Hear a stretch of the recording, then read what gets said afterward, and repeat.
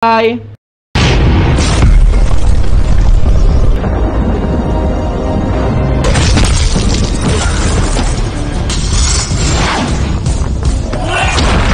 Di awal film, kita akan diperlihatkan Sun Wukong yang mengacaukan istana langit. Hampir tak ada satupun dari prajurit istana yang mampu melawan kekuatan Sun Wukong. Keributan yang terjadi membuat Kaisar Langit murka dan memerintahkan dua jenderal terbaiknya yaitu Dewa Erlang dan juga Marshal Tianfeng untuk melawan Sun Wukong. Pertempuran pun berlangsung.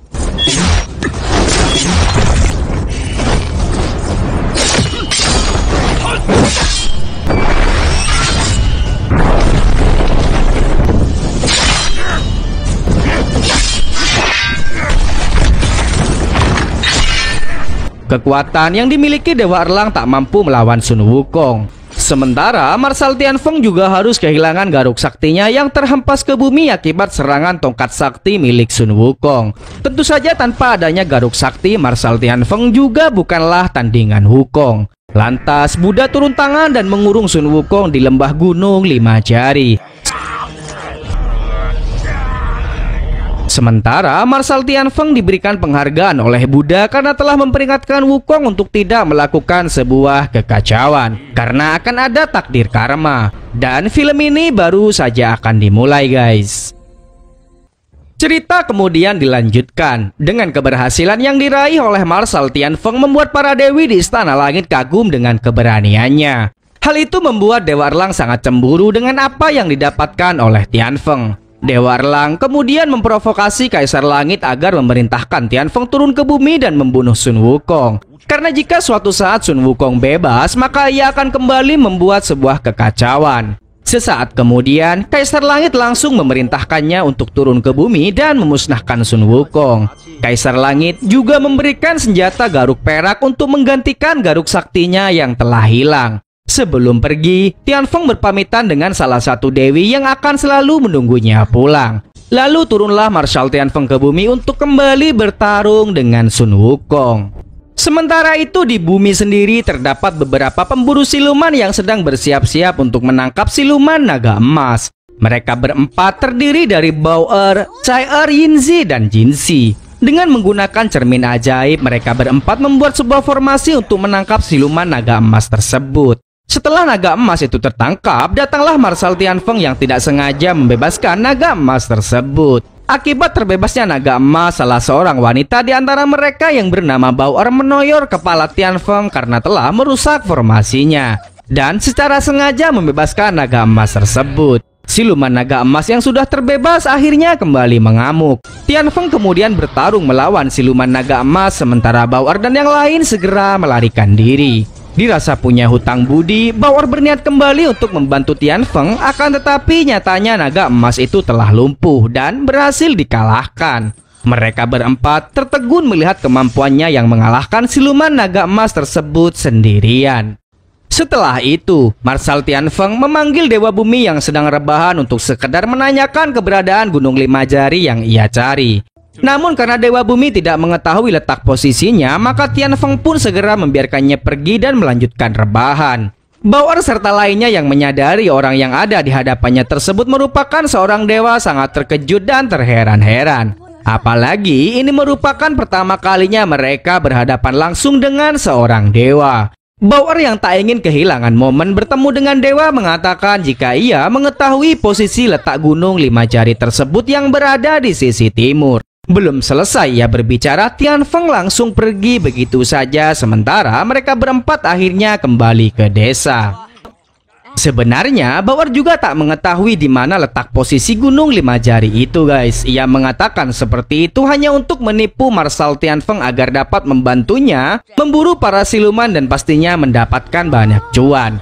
Siapa sangka secara tiba-tiba Tianfeng kini telah berada di belakang mereka yang membuat mereka berempat kembali terkejut dan terheran-heran. Marshal Tianfeng murka dengan tingkah Bauer yang telah menipunya. Tapi lagi-lagi, Bauer berhasil meyakinkan Tianfeng dan akan mengantarkannya ke gunung tersebut. Tianfeng kembali percaya karena seperti yang disampaikan Kaisar Langit jika seorang dewa tak akan mampu melihat keberadaan gunung lima jari tersebut, terkecuali manusia fana itu sendiri.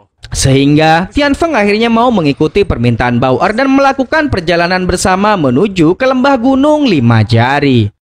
Di sana, Tian Feng harus bertarung melawan siluman agar bisa melanjutkan perjalanan. Tentu saja bagi seorang dewa perang, hal itu sangatlah mudah. Dan sebenarnya lagi-lagi Bauer mengakali Tian Feng hanya untuk sekedar menangkap siluman tersebut dan menjualnya di sebuah pasar gelap. Tian Feng yang lagi-lagi mengetahui jika ia ditipu hampir saja meremas muka Bauer. Akan tetapi hal itu tak sampai ia lakukan karena iba terhadapnya.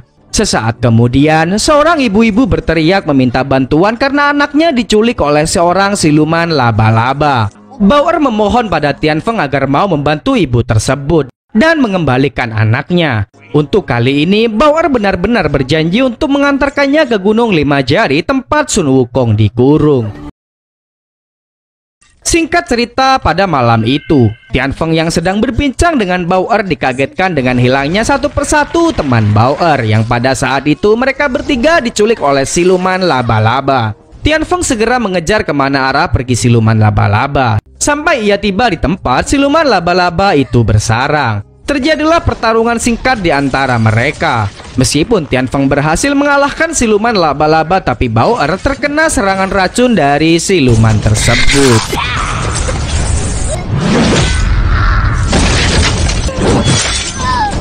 Singkat cerita, Bauer yang sudah tersadar berterima kasih pada Tian Feng yang telah menyelamatkannya. Dari kejadian itu pula, Bauer merasakan getaran cinta di hatinya.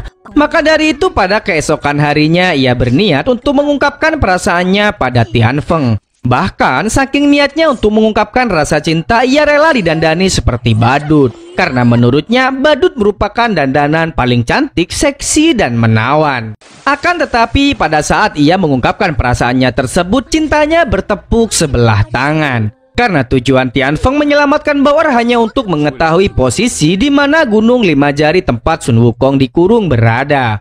Bauer akhirnya jujur jika sebenarnya ia tak tahu di mana posisi Gunung Lima Jari. Yang membuat Tian Feng murka karena selama ini ia hanya ditipu olehnya. Tak hanya itu, ia juga tak menerima cinta Bauer dan bersumpah jika sampai jatuh cinta pada Bauer, ia rela untuk menjadi seekor babi. Meskipun dengan rasa kecewa yang sangat dalam, Bauer merasa punya hutang budi pada Tian Feng. Lantas ia mendatangi seorang peramal agar memberikan petunjuk pada Tian Feng akan keberadaan Gunung Lima Jari tersebut. Dengan imbalan benang merah yang terikat di kaki Bauer. Benang merah tersebut merupakan tali jodoh yang telah diberikan oleh pengendali takdir. Dan jika benang merah itu diberikan, maka Bauer bisa jatuh cinta tapi tak akan pernah bisa memiliki. Anggap saja ia bakal menjadi perawan tua, guys. Singkat cerita, berkat bantuan Bauer tersebut, Tian Feng diberikan gambaran mengenai keberadaan Gunung Lima Jari. Namun ia tak pernah tahu jika yang memberikan petunjuk adalah Bauer dengan mempertaruhkan hidupnya. Dan bahkan Tian Feng sendiri mengira jika itu merupakan bantuan dari Kaisar Langit. Setelah mengetahui keberadaan Gunung Lima Jari, Tian Feng segera memasuki gua dan bertemu dengan Sun Wukong yang pada saat itu sedang menggunakan jutsunya bermain domino. Tanpa basa-basi Tian Feng mengajaknya untuk bertarung. Walaupun demikian, ia bukanlah tandingan Wukong. Pertarungan tersebut mengakibatkan garuk perak yang diberikan Kaisar Langit sebelumnya hancur berkeping-keping. Dan Tian Feng pun mengalami luka yang cukup parah.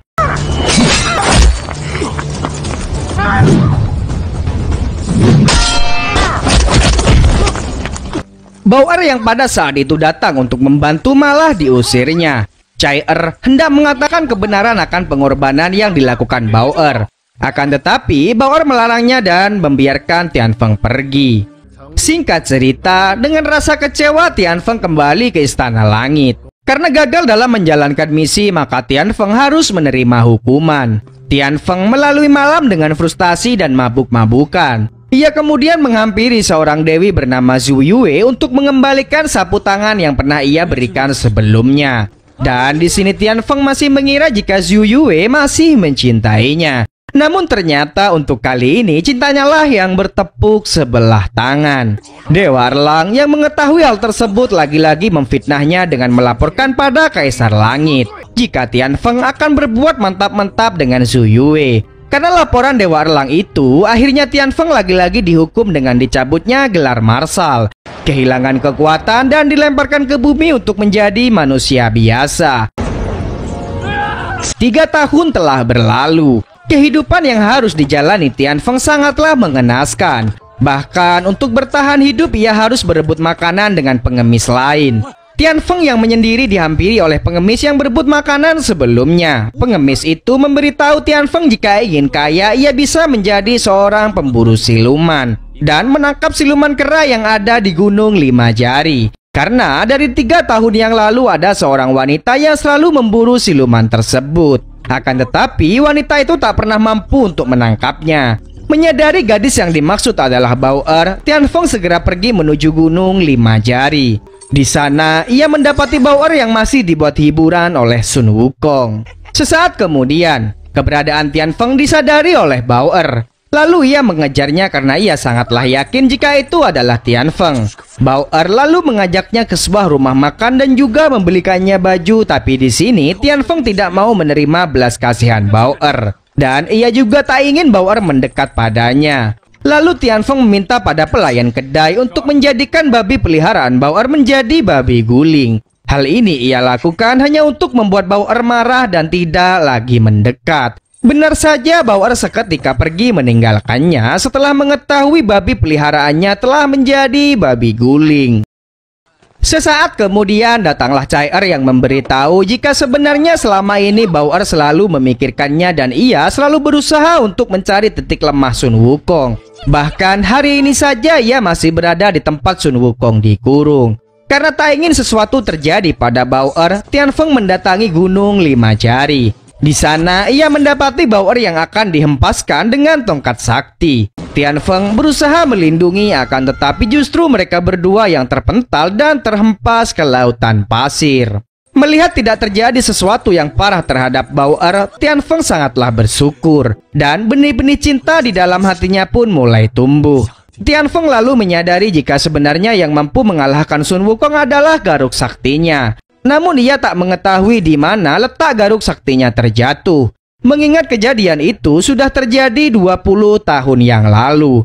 Tak lama kemudian Dewa Bumi kembali datang. Ia memberitahu Tian Feng jika sebuah pusaka jatuh dari langit akan mengakibatkan sebuah keanehan di bumi. 20 tahun yang lalu pernah terjadi keanehan saat cahaya dari langit jatuh dan menimpa sebuah desa bernama Desa Keluarga Gao. Dan desa itu merupakan desa tempat tinggal Bauer. Setibanya di desa, para warga berkumpul untuk menyambut kedatangan Bauer dan teman-temannya. Akan tetapi ketika Bauer menanyakan fenomena aneh yang terjadi pada 20 tahun yang lalu Semua warga seketika melarikan diri dan masuk ke rumah masing-masing. Bahkan ayam pun tak boleh berkeliaran di luar. Bauer tak putus asa begitu saja. Ia kemudian menanyakan kepada kedua orang tuanya akan tetapi justru kedua orang tuanya marah dan mengatakan jika tak ada satupun fenomena aneh terjadi di desa. Bahkan bukan hanya 20 tahun yang lalu Melainkan mulai dari 40 tahun yang lalu tak pernah ada satupun hal terjadi. Namun lagi-lagi Bauer tak putus asa. Ia kemudian mendatangi kepala desa untuk mencari tahu akan kebenaran fenomena tersebut. Kepala desa akhirnya menjelaskan jika memang benar pada 20 tahun yang lalu terjadi sebuah fenomena jatuhnya benda pusaka dari langit. Akan tetapi ketika para warga desa mengecek, pusaka itu berubah menjadi siluman pemangsa manusia. Jika Bauer memang ingin mencari pusaka Garuk Sakti, maka ia harus membunuh terlebih dulu siluman tersebut yang saat ini berada di sebuah goa di pinggir desa. Di keesokan paginya, Bauer menitipkan pesan pada Tian Feng dan Chai'er jika ia telah pergi untuk memburu siluman jelmaan Garuk Sakti. Sementara di tempat yang lain kepala desa berkumpul dengan para warga untuk memperbincangkan sesuatu di mana kebenaran mulai diketahui. Jika sebenarnya Garuk Sakti tak pernah berubah menjadi siluman, melainkan menjadi bayi wanita dan itu adalah Bauer. Kepala desa bersama warga sengaja merahasiakan hal tersebut agar tidak terjadi sesuatu yang membahayakan. Tian Feng kemudian mendatangi Wukong untuk menanyakan kebenaran akan jati diri Bauer. Mengingat Wukong memiliki kekuatan mata api yang mampu melihat semua hal. Sun Wukong kemudian menjelaskan jika dari awal ia sudah tahu jika Bauer memang jelmaan dari Garuk Sakti. Dikuatkan pula dengan bekas luka yang ada di tangan Bauer yang merupakan bekas pertempuran mereka di Istana Langit 20 tahun yang lalu. Di sisi yang lain, tepatnya di Istana Langit, Dewa Erlang sangat kecewa pada Kaisar karena dewa yang lain sudah mulai naik pangkat sementara ia masih menjadi penjaga gerbang. Tapi salah seorang dewa lainnya meyakinkan Dewa Erlang jika ia tak lama lagi akan mendapatkan jabatan Marsal Tianfeng setelah padamnya cahaya bintang Tianfeng. Untuk memadamkan cahaya tersebut, Dewa Erlang harus turun ke bumi dan menghabisi Tianfeng. Sementara itu di bumi sendiri Bauer yang tak menemukan letak posisi goa yang dimaksud kepala desa menanyakan kembali keberadaan tempat tersebut. Tapi Tianfeng melarang Bauer untuk kembali mencarinya karena ia tak mau lagi kembali ke kerajaan langit. Bahkan ia berniat untuk menikahinya.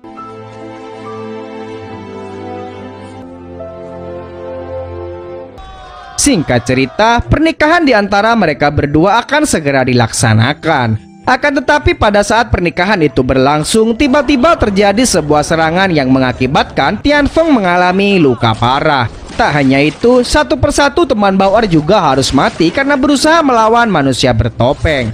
Yang tak lain adalah Dewa Erlang. Saat Dewa Erlang hendak akan membunuh Tian Feng, ia ditolong oleh Garuk Sakti yang ternyata selama ini Bauer telah mengetahui jati dirinya yang merupakan jelmaan Garuk Sakti. Karena sebelumnya ia telah meminta tolong pada Sun Wukong untuk mengeluarkan Garuk Sakti tersebut dari dalam tubuhnya. Meskipun harus mengorbankan nyawa. Seketika, Bauer berubah menjadi kristal diikuti dengan Tian Feng yang juga berubah menjadi siluman babi. Dengan kematian Bauer, Tianfeng murka pada Dewa Erlang. Apalagi kini kekuatannya sepenuhnya telah kembali. Tianfeng mulai kembali mendatangi Istana Langit dan membuatnya porak-poranda.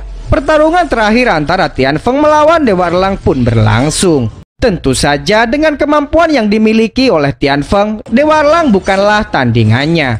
Dengan mudah, Dewa Erlang pun ditumbangkan. Sampai pada suatu ketika Tian Feng akan mengeluarkan jurus terakhirnya. Seketika itu pula Buddha turun untuk menenangkan Tian Feng. Buddha juga memperingatkan Tian Feng jika ia tetap ingin membalas dendam maka jabatan dewanya akan dicabut dan ia akan dikembalikan ke alam manusia. Namun kemurkaan Tian Feng tak bisa dihentikan. Ia tetap saja melangsungkan serangan terakhirnya dan memilih untuk tinggal di alam manusia guys.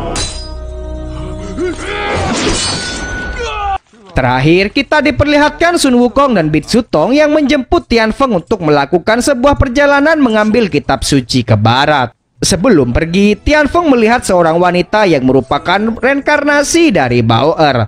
Tian Feng memeluk erat wanita tersebut dan memberikannya setengah dari kekuatan yang ia miliki agar reinkarnasi Bauer tersebut dapat melindungi semua warga desa. Dan film pun telah berakhir guys. Ada banyak hal yang saya dapatkan dari film ini, di mana sebenarnya Tian Feng atau yang biasa kita kenal sebagai Pat Kai dulunya merupakan jenderal terkuat pada masanya. Dan kenapa setelah Pat Kai melakukan perjalanan ke barat untuk mengambil kitab suci, seakan-akan tak memiliki kekuatan sebesar itu. Kalau dari film ini, setengah kekuatannya menghilang karena sebelum melakukan perjalanan mengambil kitab suci, ia memberikan setengah kekuatannya tersebut pada Bauer. Mungkin sampai di sini dulu dan sampai jumpa di video selanjutnya. Bye Scene diawali dengan sebuah adegan di mana di kerajaan langit, Sun Wukong sedang mengejar lingkar emas yang terbang dengan sendirinya.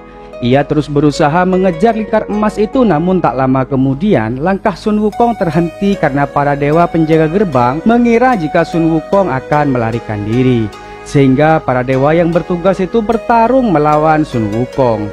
Namun tak semudah yang dibayangkan untuk menangkap Wukong, pertarungan sengit di antara mereka pun tak terhindarkan.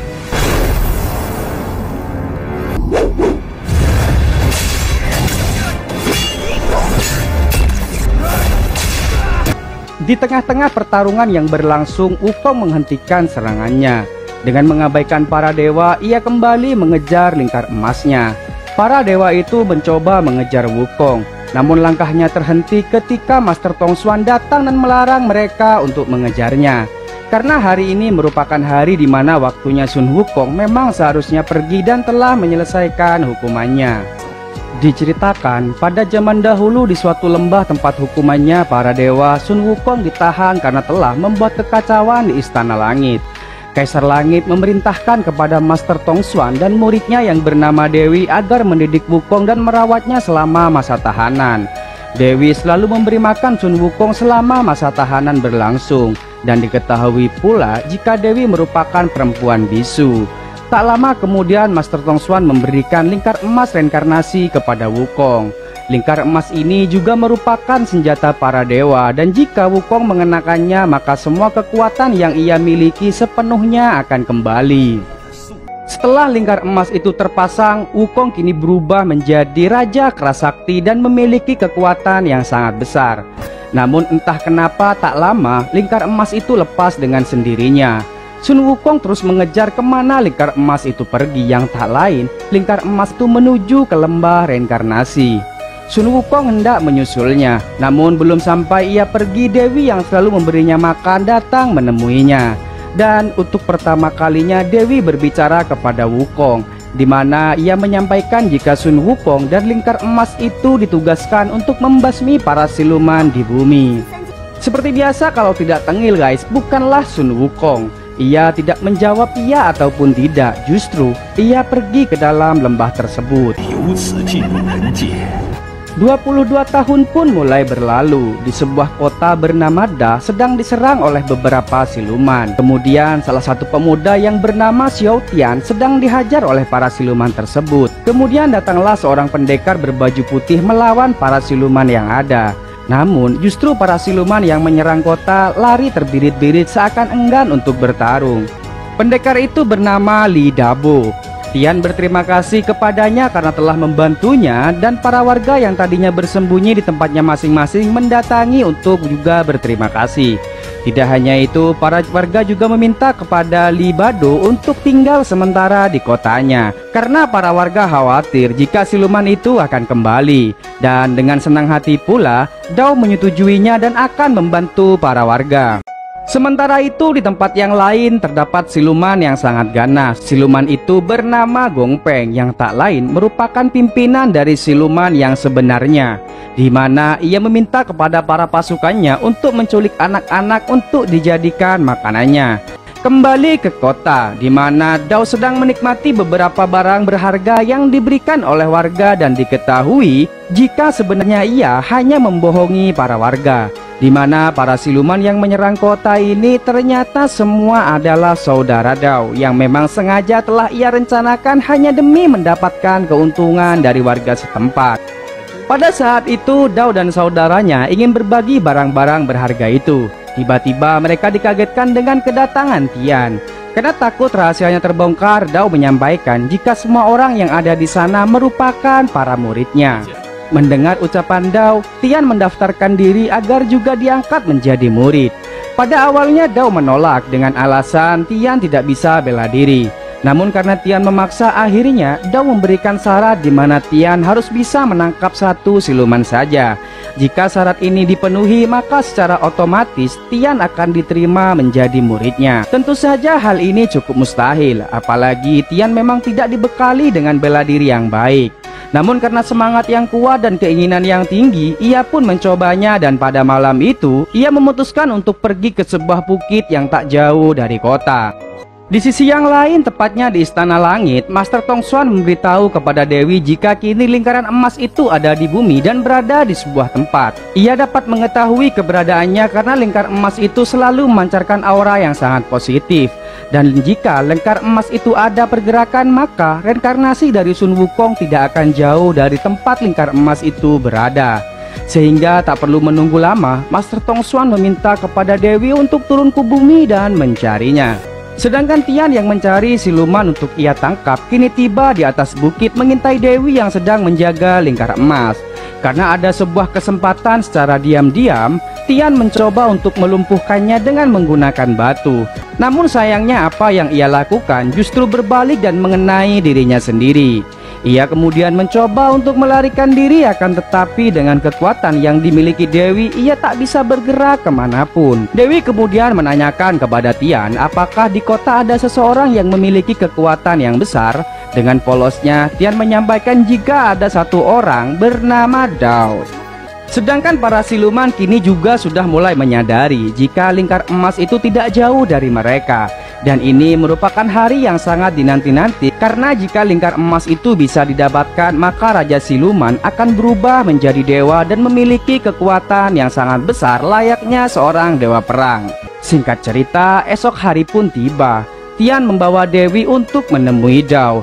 Tian menyampaikan jika dirinya tak bisa menangkap siluman namun bisa membawa Dewi dari kayangan untuk bertemu dengan Dao. Dao dan para adiknya tidak percaya begitu saja. Kemudian mereka meminta bukti jika Dewi benar-benar utusan dari kayangan. Tian kemudian kembali mencoba melemparkan batu ke arah Dewi. Dengan kekuatan yang ia miliki, dengan mudah pula Dewi bisa membuat Tian terpental. Melihat kriteria yang ada pada Dao, Dewi kemudian mengajaknya untuk pergi ke bukit tempat lingkar emas itu berada. Dewi yang mengira Dao adalah reinkarnasi dari Sun Wukong meminta untuk segera mengambil lingkar emas itu. Dengan senang hati kemudian Dao langsung akan mengambilnya Namun belum sempat ia mengambil para siluman muncul dan bertarung melawan mereka berdua Dewi mencoba untuk melawannya sendiri, sedangkan Dao diminta untuk segera mengambil lingkar emas itu. Akan tetapi ketika Dao memegangnya, tiba-tiba ia terpental dan artinya Dao bukanlah orang yang ia cari. Di sisi yang lain, Tian yang berada di bukit tiba-tiba terseret oleh awan hitam dan masuk ke dalam goa. Dan secara tiba-tiba pula lingkar emas itu ada di tangan Tian. Dan dari sini diketahui jika reinkarnasi dari Sun Wukong dari masa lalu adalah Tian guys. Para siluman yang ada masih mencoba untuk menyerang. Namun dengan kekuatan lingkar emas itu tiba-tiba Sin menjadi gelap. Entah apa yang sebenarnya terjadi. Dan tiba-tiba kini Tian sudah terbangun dari tidurnya. Ia mulai kebingungan dengan apa yang terjadi. Apalagi kini ia melihat jika lingkar emas itu ada di tangannya di sisi yang lain, tepatnya di Istana Siluman, para pasukan Gongpeng menyampaikan jika lengkar emas itu jatuh ke tangan pemilik aslinya. Namun masih ada kesempatan untuk tetap bisa mengambilnya selama lingkar emas itu belum diletakkan di kepalanya. Kini mereka mulai merencanakan sesuatu yang licik untuk mengambil lingkar emas tersebut dan para siluman tiba-tiba menyerang desa dan mencari Tian. Namun tak lama dari penyerangan yang terjadi datanglah seorang pendekar yang tak lain adalah Gongpeng pimpinan dari para siluman datang menolong Tian dan berhasil membuat para anak buahnya pergi. Hal ini merupakan rencananya agar Tian melepaskan dan mengembalikan lingkar emas itu ke tempatnya semula. Karena telah diselamatkan, Tian dan para warga yang lain berterima kasih kepada Gongpeng. Kemudian ia menjelaskan jika yang memancing datangnya para siluman ke desa ini karena hawa dari lingkar emas di tangan Tian. Dan lambat laun mereka akan kembali lagi. Karena Tian dan para warga yang lain khawatir dengan ancaman dari para siluman, Gongpeng menyarankan agar mengembalikan lingkar emas itu ke tempatnya. Dan dengan senang hati pula, ia akan mengantar Tian yang tanpa mereka sadari jika Gongpeng yang mereka anggap pendekar adalah jelmaan dari siluman. Tanpa berpikir panjang, Tian dan Gongpeng pergi ke bukit asal lingkar emas itu berada. Setibanya mereka di bukit, tiba-tiba Dewi datang dan mengatakan jika orang yang Tian anggap sebagai pendekar adalah Raja Siluman. Dewi langsung menyerang Gongpeng dan pertarungan di antara keduanya pun berlangsung.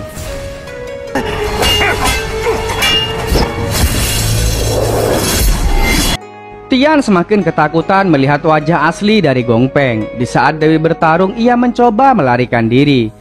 Namun entah kenapa seakan-akan lingkar emas itu menahan dirinya dan di saat Dewi terdesak tiba-tiba Muncullah Raja Kerasakti dengan segala kekuatan yang ia miliki bertarung melawan Gongpeng. Dengan mudah Sun Wukong mengalahkannya. Gongpeng mencoba untuk melarikan diri, namun Sun Wukong terus mengejarnya hingga keluar dari goa. Namun pada saat Sun Wukong akan kembali menyerang, tiba-tiba ia jatuh pingsan dan kembali menjadi Tian. Kesadarnya Tian dari pingsannya, lagi-lagi ia tak mengingat apa yang sebenarnya terjadi. Ia hanya mengingat jika saat itu ia melihat Gongpeng menjadi siluman. Ia pun sangat merasa ketakutan dan setelah itu ia tidak tahu apa lagi. Karena Tian sendiri terus khawatir akan kelangsungan hidupnya, kemudian ia mencoba untuk membuang lingkar emas itu. Beruntungnya Dewi menghalanginya namun hal itu justru membuat Dewi terluka. Dewi kemudian memohon kepada Tian untuk melindungi lingkar emas tersebut. Sedangkan para siluman kini kembali menyusun strategi untuk mendapatkan lingkar emas itu kembali. Huang Peng kembali menyamar menjadi manusia dan mendatangi Dao. Ia mengatakan jika posisi Dao kini terancam dan mungkin tidak akan lagi mendapatkan gelar pahlawan bagi para warga desa. Karena Tian merupakan reinkarnasi dari siluman kera yang sangat licik dan itu akan membahayakan para warga dan juga Dao. Karena terhasut oleh omongan Guang Peng, akhirnya ia mendatangi warga dan menyampaikan jika desa akan kembali diserang oleh siluman dikarenakan Tian tidak mengembalikan lingkar emasnya ke tempat semula. Ia pun merencanakan sesuatu dan meminta semua anak-anak diantarkan menuju kuil untuk berlindung. Sedangkan Tian sendiri sedang bersama Dewi diserang oleh pasukan Guang Peng. Dewi meminta Tian untuk menunggunya selama Dewi pergi mengejar siluman itu. Namun nyatanya itu hanya jebakan saja agar Dewi terpisah dan tak bisa melindungi Tian. Tian kemudian diculik dan dibawa ke istana siluman. Beruntungnya tak perlu waktu lama Dewi bisa menemukan keberadaan mereka dan berusaha menyelamatkan Tian. Pertarungan antara Dewi melawan Raja Siluman Guang Peng pun berlangsung sangat sengit hingga membuat Dewi pun sekarat. Ketika Guang Peng ingin kembali menyerang dan ingin menghabisi mereka berdua, tiba-tiba seakan-akan ada yang menahan Guang Peng dan tak bisa menyentuh mereka berdua. Melihat kesempatan yang ada, akhirnya mereka berdua memutuskan untuk melarikan diri. Di tengah-tengah perlarian mereka, Dewi yang sekarat tak mampu lagi untuk bertahan. Ia pun memberikan pesan kepada Tian agar selalu menjaga lingkar emas itu dan Dewi pun tewas guys. Tian yang sedih bukan kepala meminta kepada likar emas itu agar menolong Dewi. Dengan ketulusan yang ia miliki, air matanya pun jatuh tepat di lingkar emas itu. Kemudian Tian melemparkannya ke langit yang tanpa ia sadari jika lingkar emas itu tiba di istana langit dan berubah kembali menjadi Sun Wukong. Sun Wukong memberontak kepada para dewa agar memberinya pil dewa untuk menyelamatkan Dewi. Meskipun terus diserang oleh para dewa Sun Wukong terus berjuang agar diberikan pil tersebut dan ia memohon kepada para dewa. Bahkan ia juga rela jika harus kembali terkurung di lembah tempat hukuman para dewa asal ia bisa mendapatkan pil itu.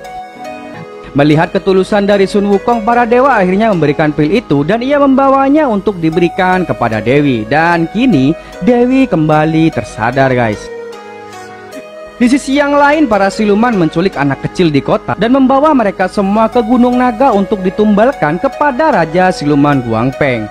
Karena dengan meminum darah anak-anak yang tak berdosa, maka kekuatan Guang Peng akan semakin meningkat.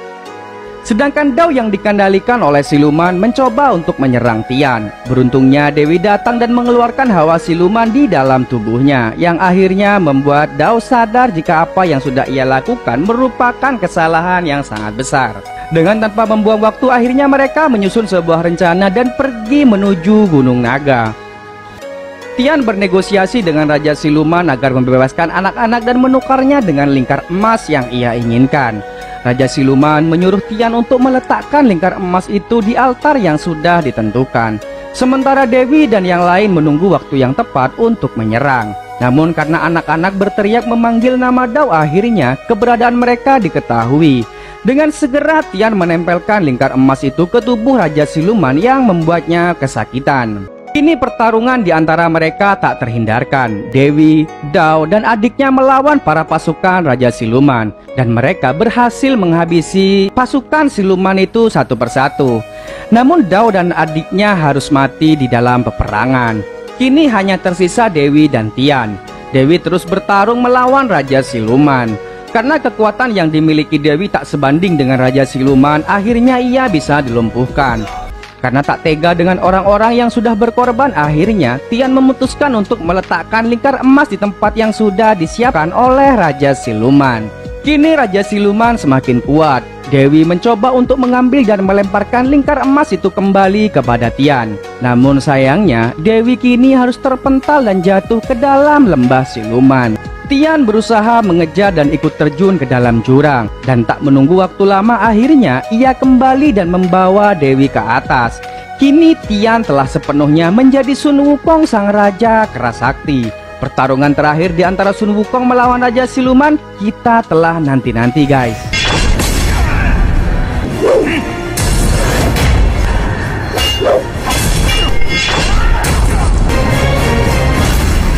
Hingga pada akhirnya Raja Siluman pun berhasil dikalahkan. Setelah pertarungan usai Master Tong Xuan datang dan membawa Dewi pergi kembali ke Istana Langit. Ia mengatakan jika Tian sudah kembali menjadi Raja Kera yang seutuhnya. Dan kini ia harus melaksanakan perintah langit untuk melindungi bumi dari serangan para siluman. Scene terakhir memperlihatkan di mana kini giliran Raja Siluman yang dipenjara di lembah hukumannya para dewa dan film pun selesai.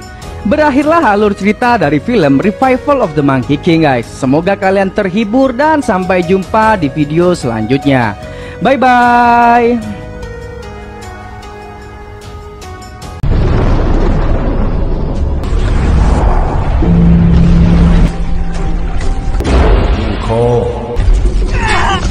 Scene pertama di awal film ini memperlihatkan di mana Wukong diusir oleh Biksu Tang karena sudah menghabisi banyak nyawa. Wukong menjelaskan jika orang-orang yang ia habisi merupakan jermaan dari siluman dan untuk melindungi sang guru akan tetapi Biksu Tang tetap kukuh dan meminta Gokong untuk pergi dari hadapannya. Wukong pun pergi namun di tengah perjalanan ia bertemu dengan siluman sebut saja siluman lendir guys karena tidak ada namanya di film ini. Siluman itu mengatakan jika dirinya menginginkan tubuh Wukong. Wukong pun mengeluarkan tongkat sakti dan bertarung melawan siluman tersebut. Dan seperti biasa, siluman abal-abal bukanlah tandingan Wukong dan ia berhasil mengalahkan siluman tersebut.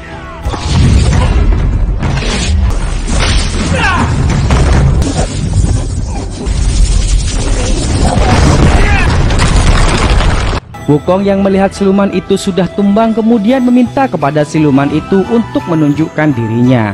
Akan tetapi, alih-alih siluman lendir itu muncul kembali, ternyata yang keluar adalah sosok Buddha yang menyerang Wukong. Dengan mudah, Buddha tersebut berhasil mengalahkan Wukong dan film pun dimulai. Sin berpindah ke salah satu dewa bernama Huang Mei bersama pengawal pribadinya sebut saja Dewa Bocil. Ia mendatangi Danau Merah untuk menemui siluman lendir yang terobsesi menjadi Wukong yang ternyata diketahui jika siluman lendir tersebut merupakan makhluk ciptaan Huang Mei yang ia ciptakan untuk menggantikan Wukong mengambil kitab suci ke barat. Karena pada zaman dulu dirinya sangat ingin pergi ke barat dan memiliki kitab suci tersebut. Akan tetapi Buddha berkata lain sehingga ia hanya dijadikan dewa penjaga penjara surga yang hal itu membuatnya melakukan sebuah pemberontakan dengan menciptakan Wukong palsu. Berharap ia akan mendapatkan kitab suci tersebut dari Wukong palsu itu nanti. Huang Mei kemudian berkata kepada siluman lendir jika dirinya bisa menjadi Wukong yang sang raja keras sepenuhnya jika dirinya memiliki hati batu yang ada pada Wukong dan batu itu hanya Wukonglah yang dapat mengeluarkannya. Kembali ke Wukong yang pada saat itu masih tak sadarkan diri dan ia kini menjadi tawanan di penjara surga. Wukong mulai sadar dari pingsannya dan berkata kenapa harus menggunakan penjara surga untuk memenjarakan siluman. Yang lantas hal itu disanggah oleh Dewa Bocil dengan mengatakan siapa dirimu? Sumpah bocah tengil ini. Wukong pun menjawab jika dirinya sang Raja Kera Namun bocil itu tidak mempercayainya. Bahkan ia menyebut Wukong dengan sebutan monyet liar dari gunung.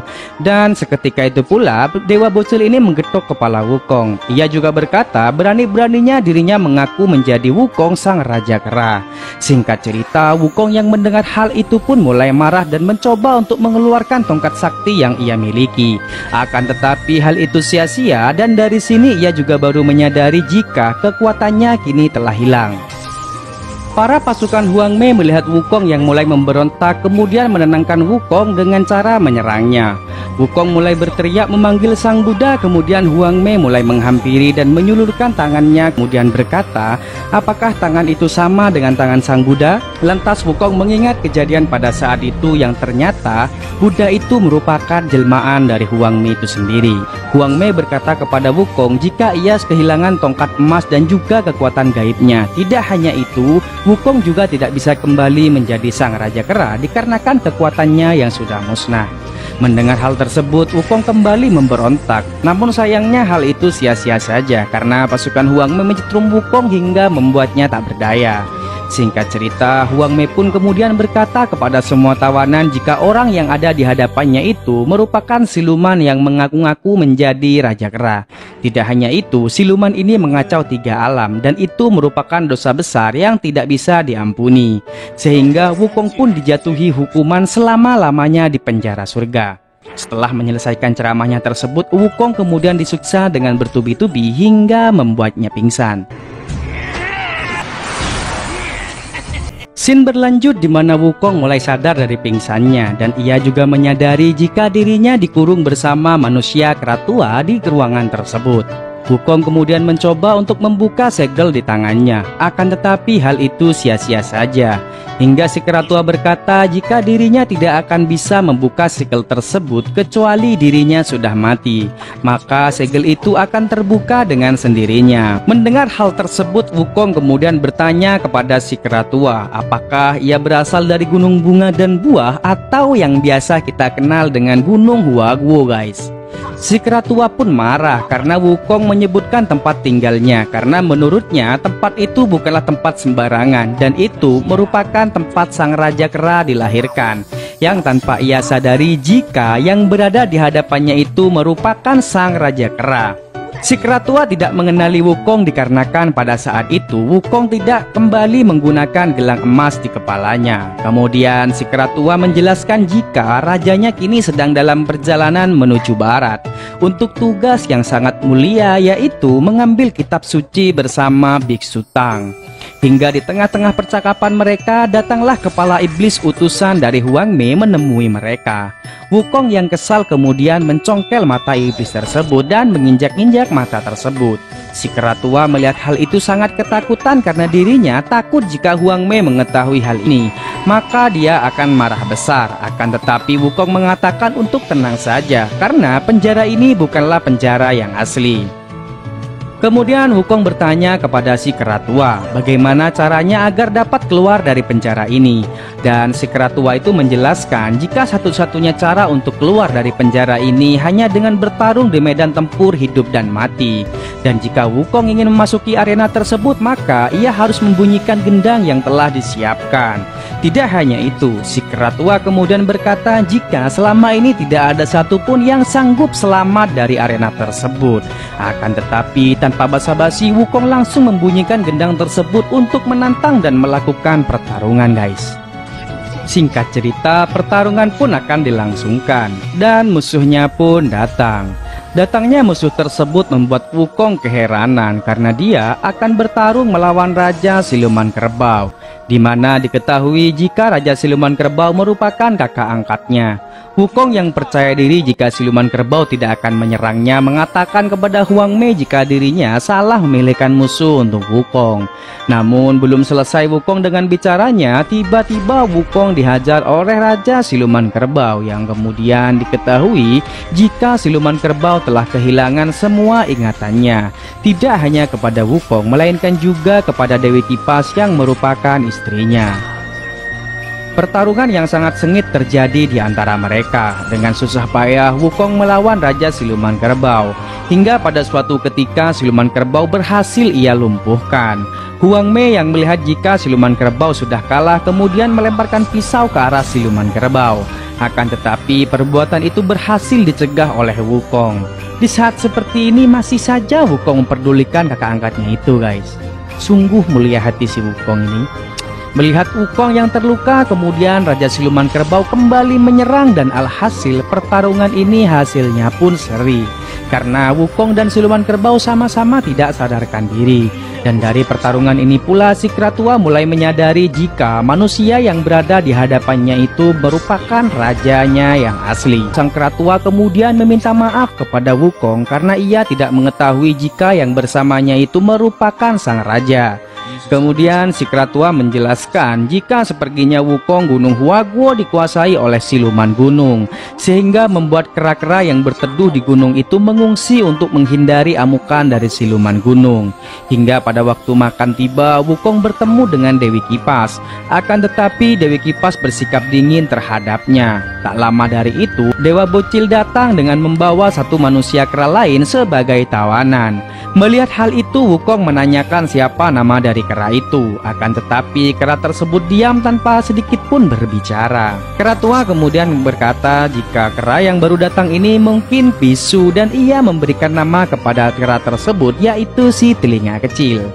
Setelah berbincang, kemudian Wukong mengajak kera tua dan kera bisu untuk menemui Dewi Kipas.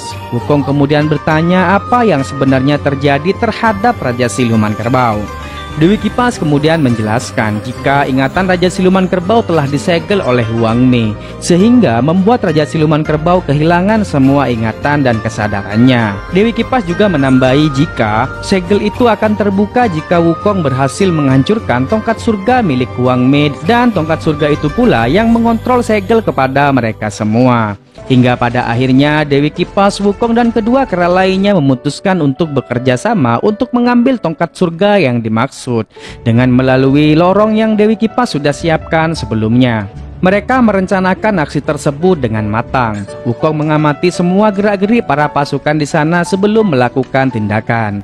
Tidak hanya itu, Wukong juga mengajari si kerabisu dengan seni bela diri yang baik agar ketika sesuatu yang buruk terjadi maka mereka semua dapat melawan pasukan penjara. Mereka semua pun melakukan tugasnya masing-masing. Dewi Kipas menari-nari di depan Raja Siluman Kerbau yang membuat Siluman Kerbau yang hidung belang mulai terkagum-kagum.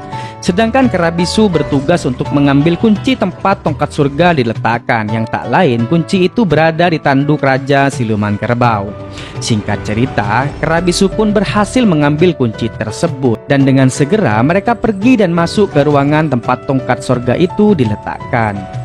Setibanya di dalam ruangan itu, Wukong lantas mengambil tongkat saktinya. Akan tetapi walaupun demikian, kekuatannya tetap saja tidak bisa kembali yang membuatnya sedikit keheranan. Hingga tiba-tiba, Huang Mei mengetahui dan langsung menyerang mereka berdua hingga membuat mereka tak mampu lagi untuk berdiri. Tak lama kemudian, para pasukan Huang Mei datang dan menghabisi si kerabisu di depan Wukong.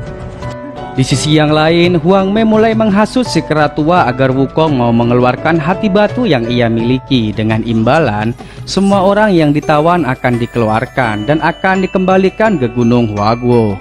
Si kera tua pun menyetujui dan Wukong kini dibawa menghadap ke tempat Huang Mei untuk diadili. Si keratua yang juga berada di ruangan itu mulai memprovokasi Wukong dengan mengatakan jika ia bukanlah sang raja kera yang membuat Wukong pun sedih bukan kepalang.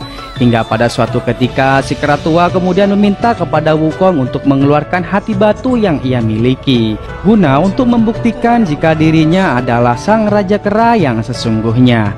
Mendengar hal tersebut Wukong sangat emosi dan seketika ia mengambil pisau dan mengeluarkan hati batu tersebut dan diberikan kepada Huang Mei untuk membuktikan jika dirinya adalah sang raja kera sesungguhnya. Sedangkan Huang Mei yang sudah memegang hati batu milik Wukong mengatakan jika semua usahanya telah selesai dan kini Wukong sudah sepenuhnya menjadi kera biasa. Tidak hanya itu, apa yang ia lakukan ini semata-mata hanya ingin mengambil hati batu milik Wukong agar ia dapat memalsukan sang raja kera untuk mengambil kitab suci ke barat. Dan ketika kitab suci itu sudah didapatkan, maka Huang Mei akan mendapatkan kitab suci tersebut dengan seutuhnya. Si keratua yang mendengar ucapan dari Huang Mei itu kemudian meminta untuk dibebaskan seperti yang sudah dijanjikan. Namun nyatanya ia tidak benar-benar dibebaskan dan itu hanya tipu muslihat yang disampaikan oleh Huang Mei. Hingga tiba-tiba si kerabisu kembali muncul dan hati batu milik Wukong dimasukkan ke dalam tubuh si kerabisu. Dan Huang Mei mengatakan jika siapa pun yang menggunakan hati batu itu akan menjadi raja kera yang sesungguhnya. Dan kini kerabisulah yang dianggap menjadi menjadi sang raja kera karena sudah memiliki hati batu tersebut. Yang perlu kita ketahui guys, jika si kera bisu ini merupakan siluman lendir yang diciptakan oleh Huang Mei di awal film tadi. Singkat cerita, semua orang yang sudah terprovokasi itu pun mulai menyesali akan apa yang sudah mereka lakukan kepada Wukong. Bahkan Dewi Kipas sendiri menyalahkan si keratua karena mempercayai ucapan dari Huang Mei. Dengan rasa bersalahnya, si keratua kemudian membawa Wukong untuk keluar dari penjara itu. Akan tetapi setibanya mereka di luar gerbang, tiba-tiba salah satu pasukan Huang Mei mencoba untuk membunuh Wukong. Namun semua itu berhasil dicegah oleh si keratua. Namun sayangnya mereka berdua kemudian dilempar dan tepat jatuh di lembah merah tempat siluman lendir itu diciptakan. Di sisi yang lain, Huang Mei menemui si kerabisu dan mengatakan jika kini dirinya sudah memiliki hati batu itu, maka kerabisu harus menanggung bebannya juga untuk mengambil kitab suci ke barat. Dan ketika kitab suci itu sudah berada di tangan kerabisu, maka dirinya harus memberikan kitab suci itu kepadanya. Kera bisu tersebut kemudian meminta kepada Huang Mei untuk segera membuka segel yang ia miliki agar dirinya bisa memiliki kekuatan Wukong yang sesungguhnya. Huang Mei yang percaya dengan makhluk ciptaannya itu pun dengan segera membuka segel yang mengurung kekuatan itu. Dan setelah segel itu terbuka, tiba-tiba si kera bisu berkhianat kepada Huang Mei dan melawannya hingga benar-benar membuat Huang Mei pun tewas seketika. Kembali ke keratua yang menyesali akan apa yang sudah ia lakukan sehingga membuat Wukong menjadi seperti ini. Kemudian ia memutuskan untuk bunuh diri dan ia mengorbankan jiwanya untuk diberikan kepada Wukong. Yang hal itu benar saja bisa membangkitkan Wukong. Sesadarnya Wukong dari pingsannya, ia mendengar sebuah suara yang memanggilnya. Dengan tertatih-tatih, Wukong berusaha menggapai asal suara tersebut, yang ternyata suara itu berasal dari gelang emas yang pernah diberikan oleh sang guru. Dan seketika, Wukong kembali mengingat semua orang-orang yang masih terkurung di penjara tersebut. Tidak hanya itu, Wukong juga mengingat saat di mana gurunya menasehati Wukong untuk tidak kembali membunuh. Dan seketika, energi yang sangat luar luar biasa muncul masuk ke dalam diri Wukong. Di sisi yang lain, tepatnya di penjara, si kera bisu yang mengaku sebagai Raja Kera mulai mendeklarasikan jika dirinya adalah Raja Kera yang sesungguhnya. Apalagi kini dirinya memiliki hati batu milik Wukong. Akan tetapi, banyak orang yang tidak menyetujui hal tersebut. Kemudian, kera bisu menghajar semua orang-orang yang tidak mau mengakuinya sebagai Raja Kera. Raja Siluman Kerbau yang sudah mulai sadar mencoba untuk melawan. Akan tetapi dirinya sadar jika ia bukanlah tandingan si kera bisu Sehingga ia juga memutuskan untuk berlindung dari amukan si kera. Hingga pada suatu titik si kera menghukum satu orang yang tidak mau mengakuinya Dan melempar orang tersebut keluar dari penjara akan tetapi bukannya terpental orang tersebut nyatanya kembali ke penjara dengan tidak terluka sedikit pun guys. Dan tiba-tiba Wukong sang raja kera kembali muncul dengan gagah perkasa lengkap dengan baju zirah dan tongkat sakti yang menjadi senjata utamanya. Pertarungan yang sangat sengit pun terjadi di antara mereka. Terlihat meskipun tanpa hati batu Wukong lebih unggul dari si kera bisu. Kerabisu yang mulai terdesak kemudian dinasehati oleh Wukong untuk berhenti akan obsesinya tersebut. Akan tetapi si Kerabisu tetap menyerang Wukong dan mereka kembali bertarung. Meskipun demikian si Kerabisu tetap tidak bisa mengalahkan Wukong. Kini Wukong sudah tidak membunuh lagi, bahkan ia lagi-lagi menyadarkan si kera bisu. Wukong kemudian berkata jika ia akan memberikan nama Raja Kera dengan senang hati jika kera bisu menginginkan gelar tersebut dan menghentikan keributan yang terjadi dan bersedia kembali pulang ke Gunung Huaguo. Mendengar ucapan dari Wukong, si kera palsu itu pun mulai menyadari akan kesalahannya. Ia pun menjelaskan jika dirinya berasal dari tempat ini dan ia juga diciptakan oleh Huang Mei damai dari tanah liat dan dia pula yang merupakan siluman lendir di awal film. Setelah selesai menjelaskan semuanya, tiba-tiba si kera lendir itu pun berubah menjadi batu dan film pun selesai. Berakhirlah dari alur cerita film Monkey King 2020 guys. Jika ada yang salah saya mohon maaf dan bila kalian suka dengan alur ceritanya silahkan subscribe aja. Bye bye.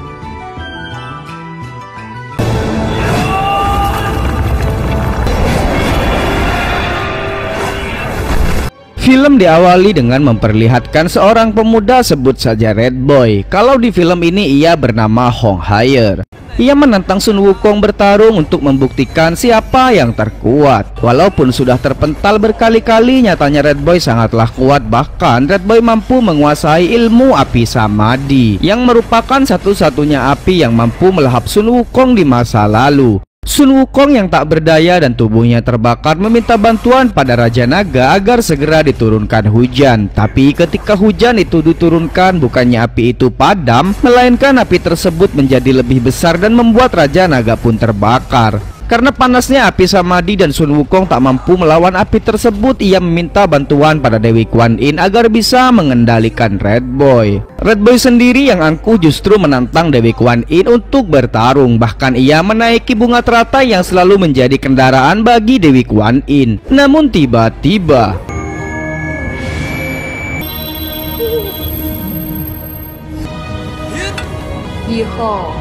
Red Boy pun dikurung dengan menggunakan lingkar emas seperti lingkar yang dimiliki Sun Wukong di kepalanya. Namun lingkar yang dimiliki Red Boy berada di leher dan juga di tangannya. Walaupun dalam kondisi terdesak dan tak berdaya, Red Boy masih ingin melawan dan ia mengeluarkan kekuatan api samadhi sekali lagi untuk melawan Dewi Kuan Yin. Dan film pun baru saja dimulai.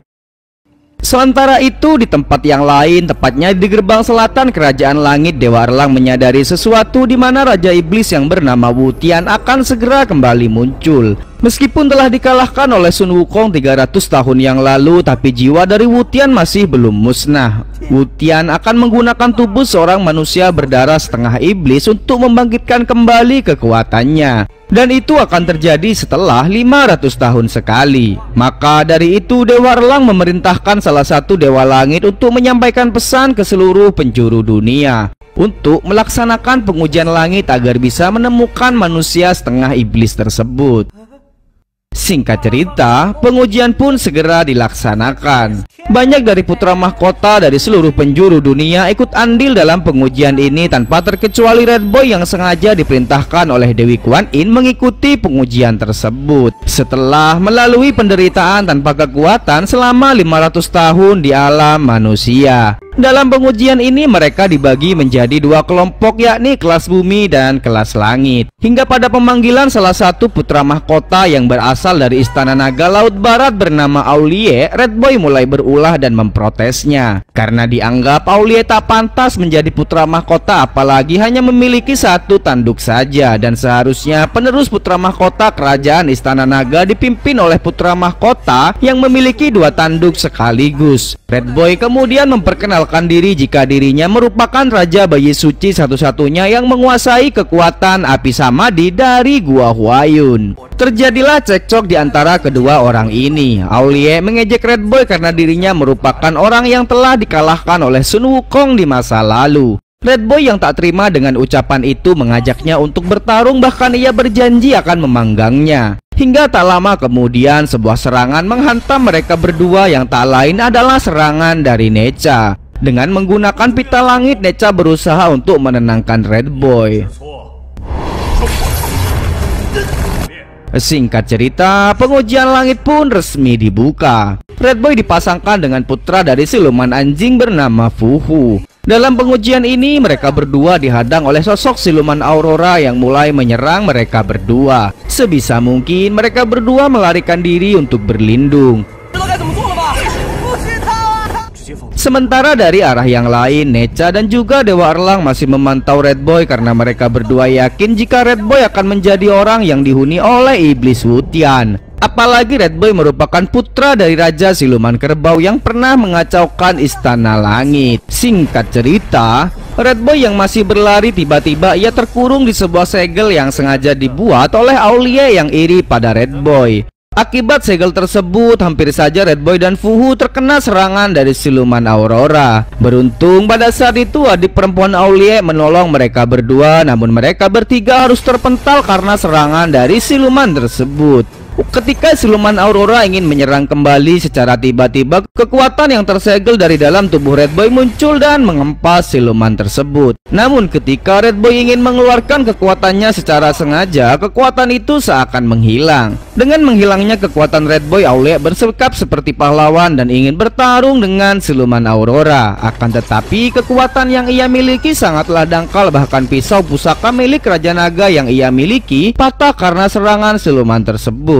Hingga tak lama kemudian siluman itu seketika pergi ketika Dewa Erlang datang untuk menghentikan pertarungan. Aulia yang memiliki hati buruk memfitnah Red Boy dengan mengatakan Red Boy tak tahu terima kasih karena telah ditolong Tapi ia dengan sengaja merusak pisau naga miliknya. Dalam ujian pertama ini Dewa Erlang berpihak pada Aulia dan menganggap Aulia sebagai pahlawan Sedangkan Red Boy hanya dianggap sebagai pengacau saja guys pada malam harinya mereka berdua kembali bertengkar. Pertarungan pun akan segera berlangsung Akan tetapi pertarungan tak berlanjut Karena Neca dengan kekuatannya melerai pertarungan. Bahkan mereka berdua kehilangan lencana Yang akan membawa mereka menuju kemenangan. Red Boy yang pada dasarnya merupakan remaja angku berusaha untuk melawan Neca. Tapi hal itu sia-sia saja dan Neca membuat Red Boy pun tak sadarkan diri Sementara itu Aulia bergegas pergi kemudian disusul oleh adik sepupunya. Namun di tengah-tengah ia berjalan Aulia bertemu dengan salah satu peserta yakni putri dari siluman rubah.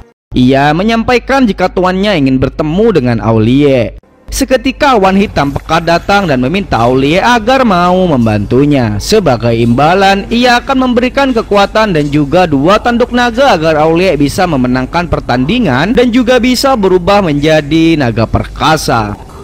Sementara itu Dewa Erlang, Neca dan salah satu dewa berdiskusi akan munculnya anak iblis tersebut. Dewa Erlang sangat yakin jika anak iblis itu adalah Red Boy. Meskipun tak cukup bukti dan Neca berusaha membela Namun Dewa Erlang dengan kukuhnya meminta Neca untuk terus mengawasi Red Boy Sedangkan Red Boy sendiri kini berada di gudang senjata bermaksud untuk mengambil kembali tongkat api miliknya. Meskipun telah dinasehati oleh adik sepupu Aulia yang bermaksud untuk berteman namun dengan tekad yang ia miliki Red Boy ingin mengambil kembali senjatanya. Bahkan ia sudah tak peduli lagi dengan pengujian langit. Red Boy memasuki ruangan itu. Akan tetapi ia mengurungkan niat untuk mengambil tombak api Karena ia ingin membuktikan jika dirinya bisa menang Walaupun tanpa tombak api tersebut. Ketika Red Boy hendak keluar secara tiba-tiba Neca datang untuk menghakiminya. Pertarungan yang cukup seimbang pun di antara mereka berdua akhirnya berlangsung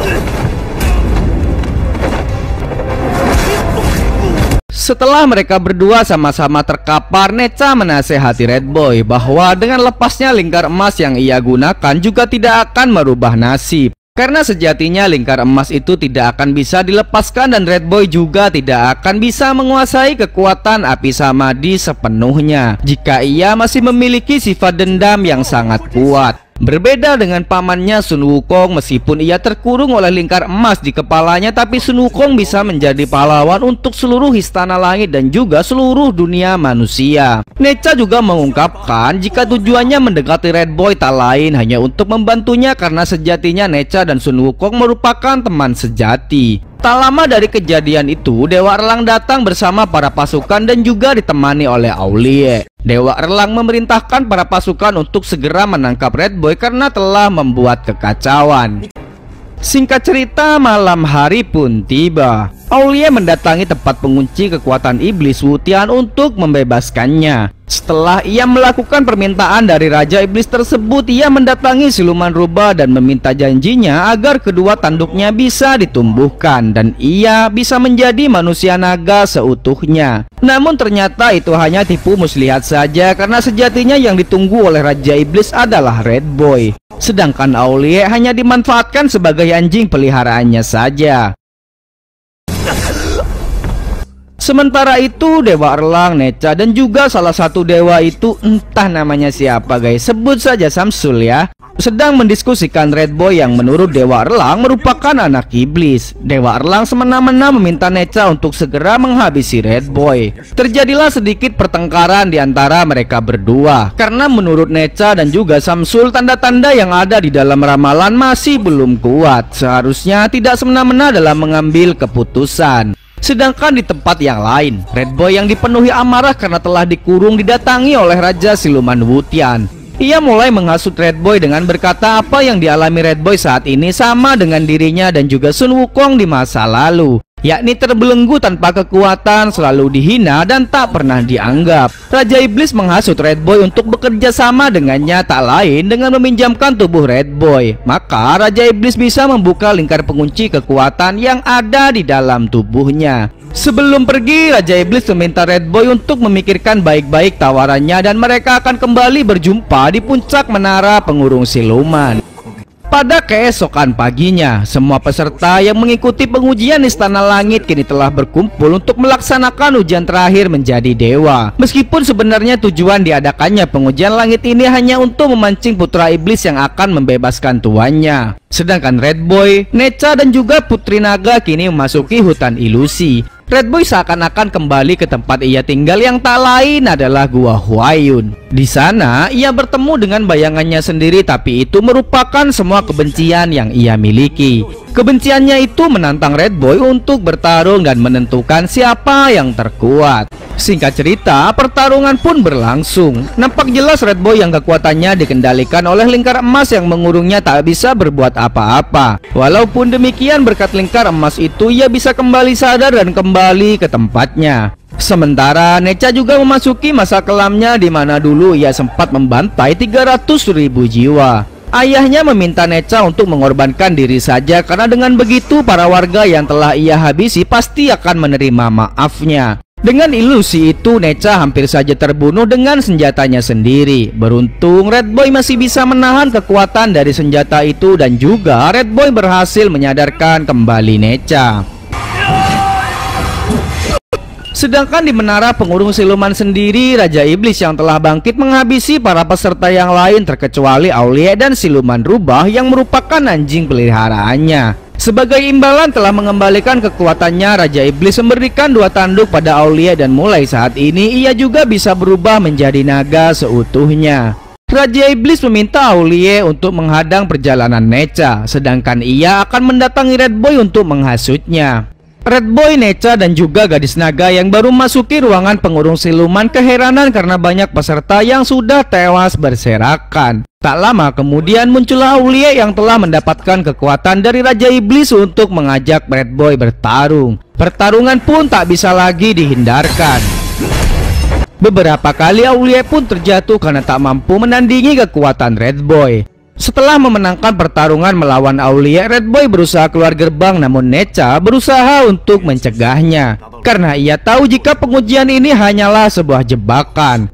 Ia menyadarkan Red Boy untuk tidak keluar karena jika Red Boy keluar maka ia akan masuk ke dalam jebakan Dewa Erlang. Red Boy yang angkuh justru terhasut oleh Raja Iblis kemudian ia mengajak Neca untuk bertarung sedangkan Dewa Erlang sendiri menunggu kedatangan anak iblis tersebut. Meskipun demikian Dewa Erlang cukup tenang karena Neca sedang bersama Red Boy. Seandainya Red Boy berubah menjadi iblis tak ada satupun di seluruh langit ini yang mampu mengalahkan kekuatan Neca yang selama ini ia pendam. Dan benar saja seketika dua orang itu keluar Red Boy sudah menjadi iblis banteng yang sangat kuat. Dalam pengaruh hawa siluman Wutian ia bertarung melawan Neca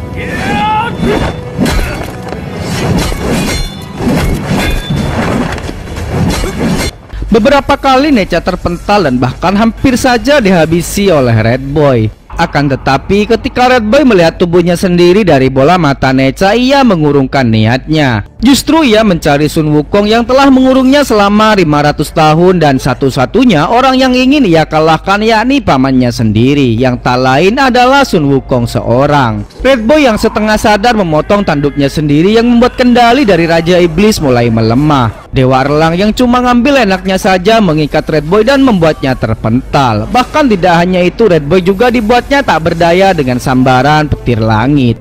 Dewa Erlang kemudian memerintahkan Neca untuk menghabisi Red Boy saat itu juga Karena jika tidak mulai saat ini Neca juga akan dianggap sebagai musuh kerajaan langit Karena tak ada pilihan lain Neca akan mengeksekusi Red Boy Namun tiba-tiba Neca justru berkhianat dan membebaskannya. Neca dan Red Boy akhirnya bersatu untuk menantang Dewa Erlang yang selalu semena-mena menjalankan perintah langit dan tidak mau mendengarkan nasihat siapa pun. Satu persatu para prajurit langit mereka tumbangkan namun tiba-tiba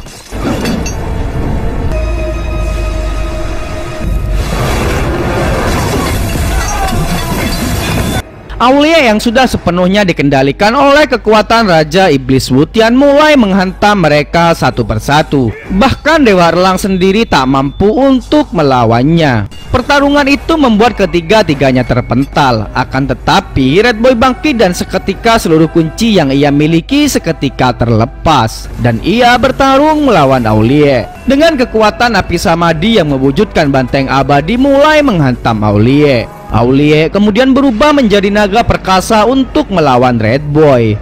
Pertarungan sengit itu berlangsung cukup lama. Satu persatu kulit naga yang dimiliki Aulia Red Boy lepaskan bahkan pertarungan itu sempat membuat salah satu pilar langit pun hancur. Namun sayangnya dalam pertarungan tersebut Red Boy berhasil dihempas dan membuatnya tak sadarkan diri. Ia kemudian masuk ke dimensi lain yang tak lain merupakan Gunung Huaguo tempat Sun Wukong tinggal. Meskipun tak menampakkan diri, Sun Wukong menasehati Red Boy untuk bisa mengendalikan amarahnya karena ia sama dengan dirinya dulu. Tapi yang membedakan hanyalah keinginan mengendalikan rasa dendam dan amarah yang mereka miliki. Red Boy pun mulai mengerti akan kesalahannya dan rasa amarah untuk menjadi yang terkuat kini telah sirna. Red Boy kemudian bangkit dan ia membawa tongkat sakti Sun Wukong Karena satu-satunya yang pernah mengalahkan Raja Iblis Wutian hanyalah Sun Wukong seorang Dengan adanya tongkat sakti itu akan membantu dalam pertarungan kali ini Dengan sekali pungkulan tongkat sakti saja Raja Iblis Wutian berhasil ditumbangkan dan dikembalikan lagi ke penjara pengurung siluman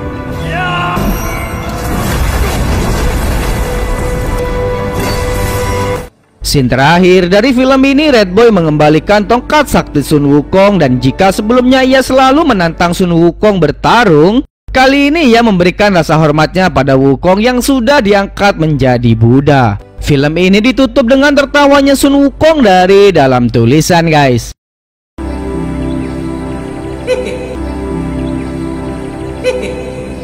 Berakhirlah alur cerita dari film Journey to the West 3 Red Boy kali ini. Semoga kalian terhibur dan sampai jumpa di video selanjutnya.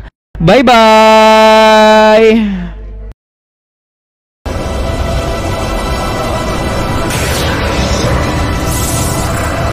Diceritakan di mana pada zaman dahulu Wukong yang dikurung di bawah gunung lima jari ditakdirkan untuk menemani Biksu Tang mengambil kitab suci menuju barat untuk menyelamatkan umat manusia. Mereka menghadapi 9.981 tantangan yang sangat berat. Walaupun demikian, akhirnya mereka berhasil melalui itu semua. Kini Wukong telah dinobatkan menjadi Buddha yang artinya orang yang mendapatkan pencerahan sempurna. Namun pada suatu hari Wukong kembali mengacau dikarenakan ada iblis yang merasuki tubuhnya. Buddha Rulai mencoba untuk mencegah Wukong dan memintanya untuk segera menghentikan itu semua. Akan tetapi iblis yang ada di dalam tubuh Wukong sangatlah kuat, sehingga tak ada satupun yang mampu menghentikannya. Apakah tujuan dari Wukong kali ini? Dan film pun dimulai guys. Kembali ke masa sekarang di mana terlihat di sebuah pemukiman Biksu Tang sedang menikmati hidangan makanannya. Tiba-tiba Wukong datang untuk menyerang Biksu Tang. Wukong mengatakan jika Biksu Tang telah membohonginya karena setelah kitab suci didapatkan dunia masih sama tidak ada sedikit pun perubahan. Manusia menyebarkan polusi dan membuat dunia semakin berantakan. Beruntungnya pada saat itu Biksu Tang menyadari jika Wukong sedang dalam pengaruh siluman terlihat dari matanya yang mengeluarkan awan hitam pekat. Karena tidak kehilangan akal, Biksu Tang memberikan sebuah perlawanan hingga membuat Wukong tak mampu melihatnya. Singkat cerita, Biksu Tang mencoba untuk menghindari Wukong dengan bersembunyi. Meskipun Wukong tak mampu melihat, ia masih bisa menggunakan indera penciumannya. Karena sudah terdesak, Biksu Tang menanyakan alasan kenapa ia ingin membunuhnya. Karena tidak mendapatkan jawaban, Biksu Tang meninggalkan Wukong yang masih mengamuk. Pada malam harinya, Biksu Tang yang berjalan sendirian tiba-tiba merasakan sesuatu yang aneh di sekitarnya. Dan benar saja, siluman besi tua datang untuk menyerang Biksu Tang. Beruntungnya Wukong datang tepat waktu untuk melindungi Biksu Tang dan menghajar si siluman besi tua. Walaupun dirinya sendiri masih dalam pengaruh siluman. Dengan menggunakan kekuatan api, Wukong akhirnya bisa melihat dan seketika pula tempat itu berubah menjadi sarang para siluman. Wukong bertarung dengan ketiga siluman yang ada di hadapannya yang tak lain mereka semua merupakan musuhnya di masa lalu yaitu siluman kerbau, siluman laba-laba, dan siluman tengkorak putih. Namun ada sesuatu yang berbeda ketika seorang wanita siluman yang mengendalikan tubuhnya keluar dari tubuh Wukong. Siluman yang cantik tersebut merupakan seseorang yang datang dari masa lalu yang telah menunggunya selama 300 tahun. Dan ia juga merupakan seseorang yang pernah ia kecewakan di masa itu. Tujuannya datang tak lain untuk menagih janji dengan membunuh Biksu Tang. Karena tidak ingin gurunya celaka, akhirnya Wukong menggunakan tongkat sakti yang ia miliki membuat sebuah benteng pertahanan. Dan seketika itu pula Wukong kembali mengingat wanita siluman itu bernama Heng Heng mengatakan kepada Wukong jika ia tidak bisa merubah apa pun hari ini. Mendengar ucapannya itu, akhirnya Wukong memutuskan untuk kembali ke masa lalu tepatnya 300 tahun yang lalu pada saat Wukong pertama kali bertemu dengan Heng agar bisa merubah apa yang terjadi hari ini dan menyelamatkan gurunya. Sedangkan Heng ia kurung dengan menggunakan kekuatan mutan keranya agar tidak bisa mencelakai gurunya di masa mendatang selama ia kembali ke masa lalu. Apa yang sebenarnya terjadi kepada mereka di masa lalu, kita lanjutkan guys. Sin berpindah ketika Wukong kembali ke tubuhnya di masa lalu. Dengan segera Wukong mengajak Biksu Tang untuk bergegas pergi.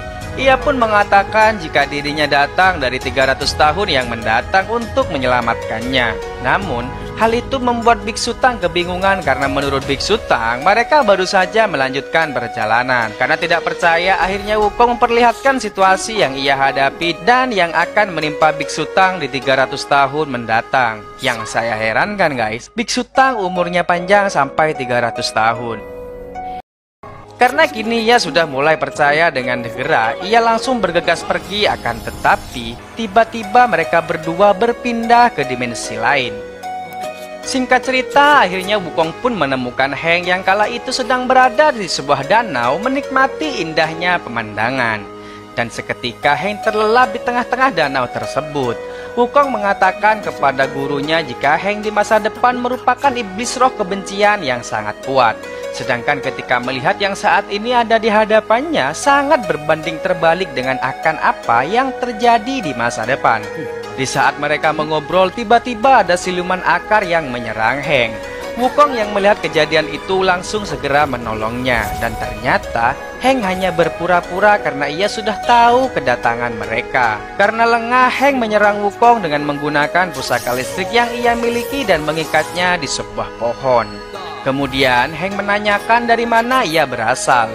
Wukong pun menjawab jika kedatangannya untuk menyelamatkan Heng. Tentu saja Heng pun tak percaya kepada Wukong apalagi dengan orang yang baru ia temui. Hingga pada akhirnya ia pun mengatakan jika dirinya adalah seorang Buddha bernama Sun Wukong dan ia berasal dari sebuah gunung bernama Gunung Huaguo. Dan lagi-lagi Wukong menyampaikan kedatangannya untuk menemui Heng dan membawanya pergi dari sana yang seketika membuat Heng pun bahagia karena sudah lama tak ada seorang pun yang mencari dan ingin membawanya pergi. Tapi bohong, justru Heng masih mengira jika Wukong ingin menipunya dan pasti ada tujuan lain. Seketika itu, Heng justru pergi meninggalkan Wukong dan kembali ke tempatnya untuk menikmati tidur siang yang sangat membosankan. Sebangunnya Heng dari tidurnya, ia pun memikirkan apa yang disampaikan oleh Wukong untuk mengeluarkannya dari tempat ini. Kemudian datanglah Biksu Tang menemuinya. Biksu Tang mengatakan agar tidak memikirkan apa yang disampaikan oleh Wukong, apalagi berniat pergi dari tempat yang indah ini. Kemudian Biksu Tang pun memohon agar membiarkan mereka pergi saja untuk melanjutkan perjalanan mengambil kitab suci dan memberitahu jalan keluar dari tempat itu. Di sisi yang lain, Wukong yang sudah terbebas dari ikatannya terus berusaha untuk membawa Heng keluar. Pemikiran dari Biksu Tang dan Wukong ini memang berbeda guys. Biksu Tang ingin keluar dari tempat ini dengan meninggalkan Heng, sedangkan Wukong ingin membawa Heng pergi untuk menyelamatkannya di masa depan. Karena tidak kehilangan akal, Wukong membakar habis hutan tempat Heng tinggal. Tak luput, api yang membara itu sampai ke tempat Biksu Tang yang mencoba keluar dengan membawa peta yang diberikan oleh Heng. Karena kobaran api yang begitu besar, peta itu pun terbakar dan lagi-lagi Biksu Tang gagal untuk keluar. Pada keesokan paginya, Biksu Tang yang sudah cobang camping bertanya kepada Wukong apa yang sudah ia lakukan. Biksu Tang memarahi Wukong habis-habisan dan menyampaikan keinginannya untuk segera keluar dari tempat ini. Tak lama dari perdebatan mereka, Heng pun datang dan menanyakan kenapa mereka bertengkar. Wukong yang melihat Heng seakan tidak ada sesuatu yang terjadi dengan rumahnya itu bertanya, kenapa ia masih bisa bersikap biasa saja seolah-olah tak terjadi apa pun. Heng dengan santainya pun menjawab jika memang tidak terjadi apa-apa dengan hutan itu. Ajaibnya, setelah Heng mengucapkan itu, hutan tempat ia tinggal tinggal kembali seperti semula. Karena ada sesuatu yang istimewa dengan Heng, Wukong mengajak Heng berbincang. Ia pun menanyakan kenapa tempat itu berubah begitu cepat. Heng Bun yang sebenarnya menyadari jika sebelumnya tempat itu terbakar kembali bertanya kepada Wukong sebenarnya apa tujuannya datang dan melakukan ini semua. Ia pun menjelaskan jika tujuannya tak lain hanya ingin membawa Heng keluar dari tempat tersebut. Pada akhirnya Heng pun menjelaskan alasan kenapa ia tak bisa pergi dari tempat ini. Karena ia takut tidak bisa kembali ke tempat dewa yang semuanya serba lengkap dan indah ini. Apalagi semuanya serba ada dan ia juga belum pernah mengetahui seperti apa dunia luar itu. Di sinilah Wukong mulai mengetahui kenapa hutan yang terbakar kembali utuh dan semua yang disukai Heng pasti ada di tempat ini yang tak lain. Hal ini merupakan kemampuan yang dimiliki olehnya. Apa pun yang ia ucapkan pasti akan langsung tercapai. Karena tempat ini merupakan ilusi semata dan pada akhirnya Wukong menemukan cara untuk membawa Heng keluar dari tempat ini yang tak lain meminta Heng untuk mengucapkan jika dirinya benci dengan semua yang ada di sini. Dan benar saja, dalam sekejap tempat itu pun berubah menjadi hutan yang sudah tua. Heng yang keheranan menanyakan apa yang sebenarnya terjadi. Wukong menjelaskan jika sebenarnya apa yang ia nikmati selama ini hanya sebuah ilusi. Dan Heng terperangkap di dalamnya karena sejatinya hidup hanya dengan pergi ke dunia luar dan memiliki kehidupan yang sesungguhnya. Hingga pada akhirnya mereka pun memutuskan untuk pergi bersama dan menikmati malam itu berdua. Sedangkan Biksu Tang menjadi obat nyamuk dari kelakuan mereka. Sungguh sangat romantis sekali guys. Singkat cerita esok hari pun tiba. Di tengah-tengah perjalanan datang beberapa perampok yang menghadang perjalanan mereka. Karena percaya diri dengan tongkat sakti yang ia miliki, Wukong akan melawan para perampok tersebut dengan mengeluarkan tongkat saktinya. Heng yang melihat hal itu tertawa melihat tingkah Wukong dan berkata jika tongkat yang ia miliki tak lagi berguna. Dan benar saja, tongkat itu pun tak mau keluar dari telinga Wukong.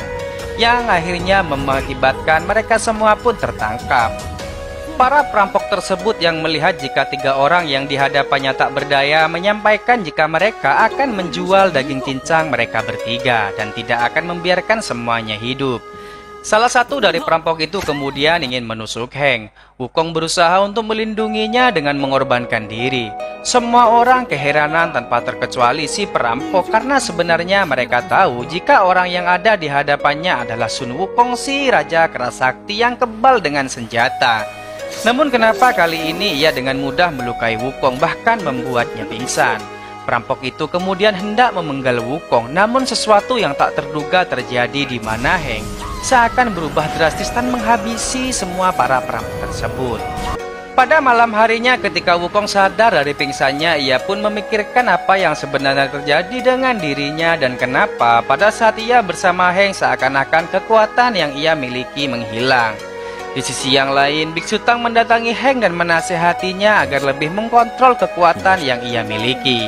Akan tetapi, hal itu justru membuat Heng marah dan membuat Biksu Tang pun terpental. Biksu Tang yang ketakutan dihampiri oleh Heng lantas Biksu Tang menjelaskan jika Heng telah menghabisi para perampok tersebut dengan beringas. Sedangkan Heng hanya mengingat jika pada saat itu ia tak tega melihat Wukong yang sudah mengorbankan diri untuknya. Ia pun marah besar dan ingin para bandit itu mati. Namun setelah itu ia tidak mengingat apa pun. Biksu Tang yang semakin ketakutan mencoba untuk pergi dari hadapannya karena ia sadar apa pun yang Heng benci akan musnah dengan kekuatan yang ia miliki. Setelah itu, Biksu Tang kemudian menemui Wukong untuk mengingatkannya agar berhati-hati terhadap Heng. Karena jika sifat iblis yang ia miliki sangatlah kuat, bahkan Wukong pun tak akan mampu melawannya. Singkat cerita, dari percakapan mereka sesuatu yang aneh pun mulai terjadi di mana lampu-lampu di sekitarnya mulai mati dengan sendirinya. Wukong yang menyadari bahaya telah datang mengajak Heng dan gurunya untuk berlindung. Di dalam gelap itu mereka berjalan hanya dengan bermodalkan lilin yang ada di tangan Wukong. Akan tetapi secara tiba-tiba lilin itu pun mati yang membuat Biksu Tang terpisah dari Wukong. Secara tidak sengaja pula, Biksu Tang bukan menggandeng tangan Wukong, melainkan sosok roh iblis yang sangat menakutkan. Sedangkan Wukong sendiri bersama Heng kembali menyalakan lampu lilin miliknya dan mulai mencari Biksu Tang. Belum jauh ia mencari, tiba-tiba Biksu Tang pun muncul begitu saja di hadapan mereka dan berkata, jika roh iblis kebencian ada di mana-mana. Kemudian Biksu Tang meminta kepada Wukong untuk menggunakan mata api miliknya untuk melihat keberadaan para iblis tersebut. Dan benar saja, ketika Wukong menggunakan mata apinya, para iblis itu sudah ada di hadapan mereka. Singkat cerita, Wukong meminta kepada gurunya untuk membawa Heng pergi menjauh karena jika Heng berada di sampingnya maka kekuatan yang ia miliki akan melemah. Dan pada akhirnya Wukong melawan para iblis tersebut. Di sisi yang lain, Biksu Tang beserta Heng mencari tempat untuk berlindung. Akan tetapi, ke mana pun mereka pergi, para iblis itu terus mengikuti mereka. Sampai pada suatu titik, para iblis tersebut menyerang bahkan masuk ke dalam tubuh Heng, yang seketika merubahnya menjadi sangat beringas dan tak terkendali.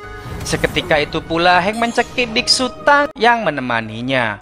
Wukong yang kala itu mengetahui berusaha untuk menyadarkan Heng kembali. Dan para iblis tersebut pun berhasil keluar dari tubuh Heng. Tidak hanya itu, keluarnya para iblis tersebut membuat Heng pun tak berdaya dan pingsan seketika. Namun masalah belum sampai di sini, karena para iblis itu terus mendekat dan ingin menyerang. Seketika itu pula sebuah cahaya muncul dan membawa mereka pergi masuk ke dimensi yang lain yang dinamakan dunia surga. Tak lama kemudian datanglah seorang yang rambutnya putih sebelah mengaku jika dirinya adalah dewa dari surga. Wukong tak mempercayainya begitu saja. Ia menanyakan kepada orang tersebut, kenapa ketika ia bersama Heng, kekuatannya seakan melemah. Bahkan, ia pun juga menanyakan kenapa para iblis itu ingin membunuh Wukong tapi tidak membunuh Heng. Justru mereka ingin merasukinya. Orang itu pun berkata jika Heng merupakan sumber roh kebencian itu sendiri dan ia juga merupakan kebencian pertama yang telah diciptakan. Karena dunia surga dilarang membunuh makhluk hidup, maka dari itu Heng diberikan kemampuan untuk mewujudkan semua yang ia inginkan agar dapat mengontrol kebencian yang ada di dalamnya. Dan tempat yang ia tinggali merupakan segel yang telah diciptakan oleh sang pencipta. Dan jika Heng keluar dari tempat tersebut, maka roh kebenciannya secara perlahan akan keluar dari dalam tubuhnya. Bahkan, roh kebencian yang baru akan berkumpul masuk ke dalam tubuh Heng seperti yang sudah mereka lalui. Dan jika hal itu terjadi, Heng akan berubah seperti Heng yang sudah Wukong temui di 300 tahun yang akan datang. Wukong yang semakin dibuat bingung kemudian kembali bertanya apa yang seharusnya kini ia lakukan. Lantas orang tersebut meminta Wukong untuk mengambil hati Heng karena jika itu berhasil maka Heng tidak akan lagi memiliki cinta, dendam, sakit, bahkan air mata akan hilang dari dalam dirinya. Wukong yang masih khawatir akan keadaan Heng menanyakan apa yang akan terjadi kepada Heng jika hatinya ia ambil. Maka dengan bijaksana pula orang tersebut berkata jika Heng akan melupakan segalanya dan ia tidak akan memiliki masa lalu. Namun jika Wukong tidak mau melakukannya maka gurunya akan mati. Seketika itu Biksu Tang diperlihatkan kejadian yang menimpa di 300 tahun yang akan datang. Karena tidak ingin sesuatu terjadi dengan gurunya dan ia juga tak menginginkan Heng menjadi seorang iblis akhirnya Wukong masuk ke dalam pikiran Heng dan menanyakan apa harapan terbesar yang diinginkan olehnya. Wukong juga mengatakan jika ia akan membantu untuk mewujudkan impian tersebut. Heng yang sudah jatuh cinta terhadap Wukong dengan berkaca-kaca mengutarakan jika ia ingin menikah dan memiliki keturunan Jelas, Wukong tak mampu melakukan itu meskipun ia memiliki perasaan yang sama terhadapnya. Karena ia masih mengingat tanggung jawabnya sebagai seorang Buddha di masa depan. Lantas, Wukong memintanya untuk mengatakan keinginannya yang lain. Dengan rasa kecewa pula, Heng menyampaikan jika tidak ada gunanya menyampaikan harapan jika tak bisa diwujudkan. Tidak hanya itu, ia juga sudah tidak tahu apa yang harus ia lakukan saat ini. Tak lama dari percakapan ini, Wukong kemudian membawa Heng terbang dan seketika mereka berdua pun berubah menjadi pasangan raja dan ratu. Sungguh sangat romantis sekali.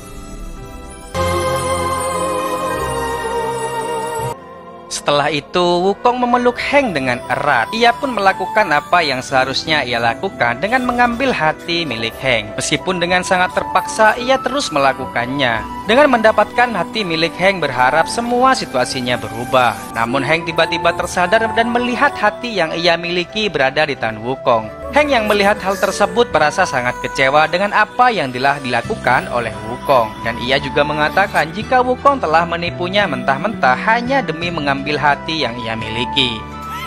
Dengan menangis, Wukong mulai bingung dengan apa yang sudah ia lakukan. Wukong menjelaskan jika apa yang ia lakukan sama seperti apa yang disampaikan orang utusan dari surga untuk menyelamatkan Heng dan gurunya.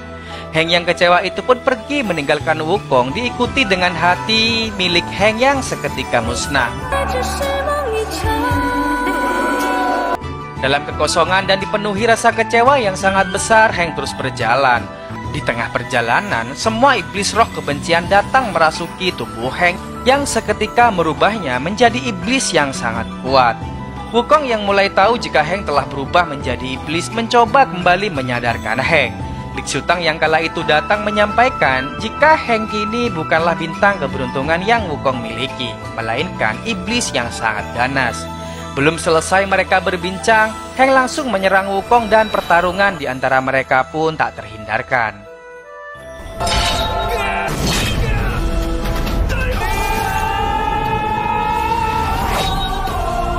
Singkat cerita, Wukong yang tak tega hampir saja bisa dilumpuhkan oleh Heng. Beruntungnya Biksu Tang mengorbankan diri demi Wukong dengan menghalangi serangan Heng. Menyaksikan gurunya yang sekarat, Wukong pun mengembalikan gurunya ke tempat 300 tahun mendatang di mana ia dilindungi oleh tongkat sakti kala itu. Tak menyerah begitu saja, Wukong masih ingin menyelamatkan keduanya hingga pada akhirnya ia pun memutuskan mengorbankan diri dan mengambil semua kebencian yang ada di dalam tubuh Heng.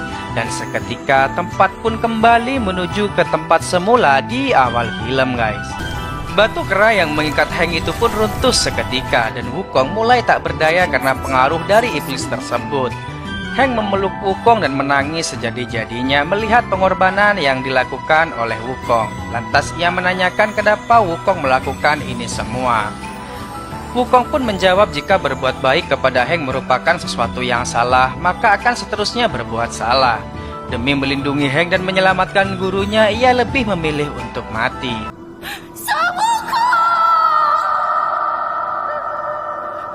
Tak lama dari hal itu, tiba-tiba orang utusan surga kembali datang dengan wujud yang berbeda. Ia mengatakan jika pengorbanan Wukong tidaklah sia-sia, karena apa yang telah ia lakukan dapat membuat para iblis kebencian tak bisa menyatu dengan Heng. Dan Wukong juga tidak akan mati, karena sejatinya Wukong adalah Buddha yang telah dinobatkan. Seketika ucapannya itu selesai, Wukong yang sekarat kemudian menjadi abu dan kembali hidup menjadi seorang Buddha. Tamat, ending yang sangat membingungkan. Keren sih film ini guys, meskipun belum jelas seperti apa kehidupan mereka di masa mendatang. Baiklah, selesai pula alur cerita film kali ini. Semoga kalian terhibur dan sampai jumpa di video selanjutnya. Bye-bye.